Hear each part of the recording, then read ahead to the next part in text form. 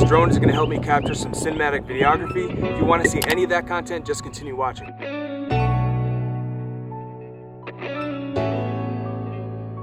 Welcome back to my channel guys, thank you for tuning in. If you've made it this far in my adventure series, I truly appreciate you. Today we're gonna go on a different adventure. We're gonna talk about my new technology, which is the camera. It's the Sony a6400. The lens that I have on this is the Sigma 16mm 1.4. To top that off, I have the DJI Mavic Mini. This drone is gonna help me capture some cinematic videography. If you wanna see any of that content, just continue watching.